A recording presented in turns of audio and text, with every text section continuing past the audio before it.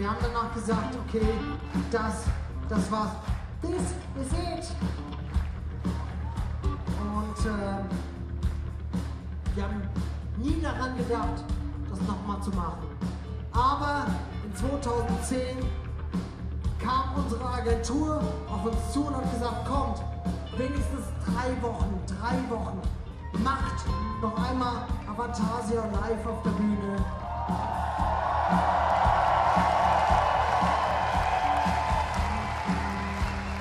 Wir waren uns nicht sicher, ob wir das machen sollen, aber heute Abend war der absolut letzte Beweis dafür, dass es die richtige Entscheidung war.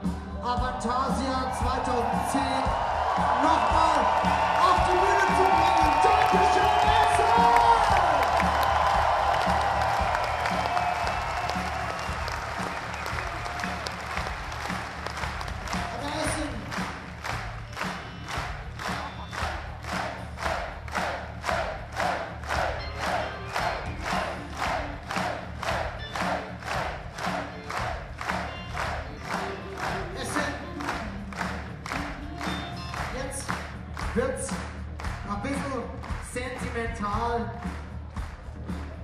Die letzte Show auf der Tour, die letzte Show vielleicht von Avatasia, abgesehen von so einem kleinen Best-of-Ding nächstes Jahr backen.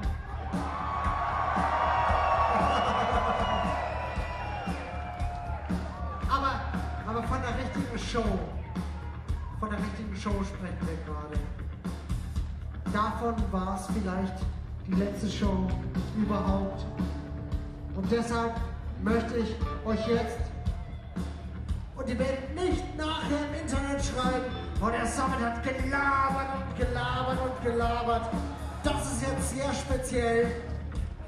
Ich möchte die Leute erwähnen, die dafür verantwortlich sind, dass wir überhaupt diese scheiß kurze Tour gespielt haben. Das war geil für uns.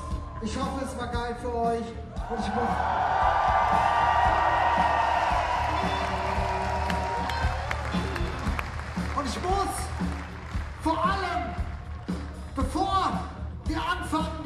hier zu erwähnen, die Crew erwähnen. Wir sind mit der kleinstmöglichen Crew in die Welt gezogen, die überhaupt möglich ist, um sowas hier auf die Beine zu stellen. Es war unglaublich. Es ist unglaublich, dass diese Burschen das hier überhaupt bewerkstelligt haben. Iron Maiden kommt mit 20 Leuten, ACDC kommt mit 50 Leuten. Wir sind mit sechs Leuten Crew um die Welt gezogen. Wir haben niemanden gebraucht, um uns rote Teppiche auszulegen. Wir haben nur Leute gebraucht, die Instrumente verstehen, die den ganzen Scheiß hier auf der Bühne verstehen. Und deshalb einen großen Applaus für unsere Crew, die mit uns um die Welt gezogen ist Schumann!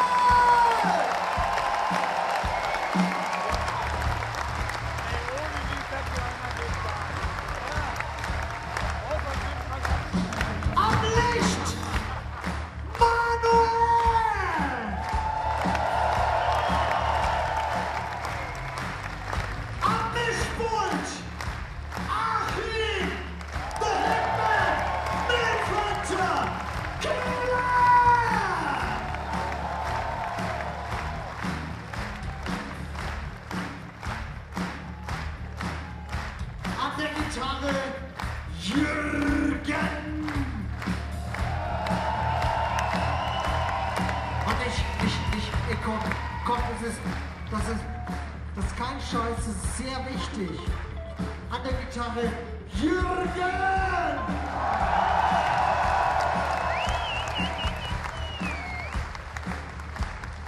Der Mensch, der dafür sorgt, dass wir uns jeden Abend hören.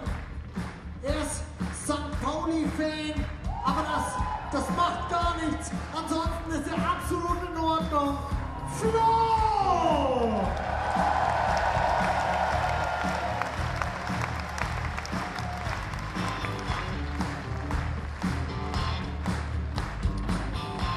Auf der anderen Seite der Mensch, der jedes Mal mit Edguy auf Tour ist, mit Avantasia, der sorgt dafür, dass Felix jeden Abend ein Schlagzeug auf der Bühne stehen hat. Der Mensch heißt!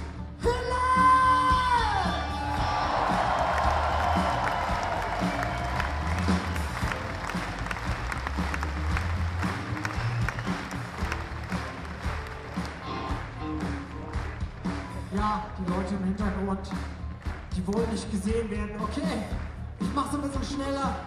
Der Mensch, der mich dazu überredet hat, Avantasia überhaupt auf die Bühne zu bringen.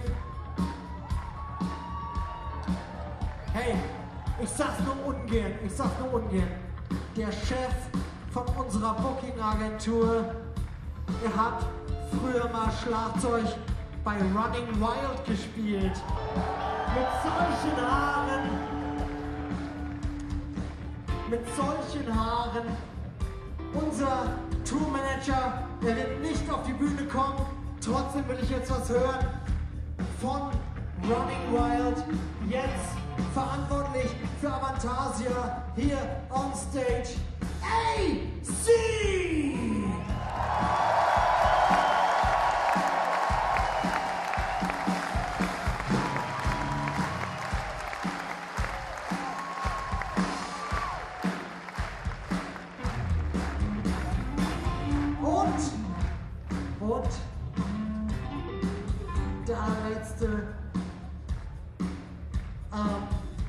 Ein bisschen weh in der Seele. Ein Mensch aus Dortmund, aus dem Ruhrgebiet. Und was mir als Bayern-Fan auch sehr weh tut, ich weiß, Bayern ist scheiße, ja. Aber es tut mir sehr weh in der Seele. Er ist Borussia Dortmund-Fan und Mitglied. Und er hat jeden Abend schön die örtlichen Veranstalter zusammengeschissen, damit sie diesen Scheiß hier auf die Bühne zimmern.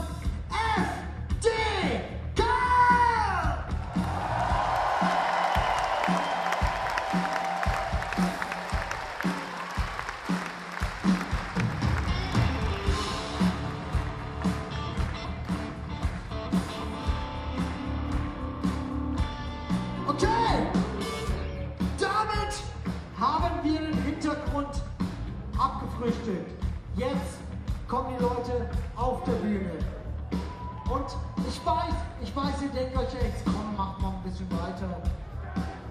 Jetzt stelle ich euch die Leute auf der Bühne vor, die für Avantasia 2010 verantwortlich sind. Der Mann an den Keyboards, er war verantwortlich für die letzten Edguy-Produktionen, Keyboards, für die letzten Avantasia-Produktionen.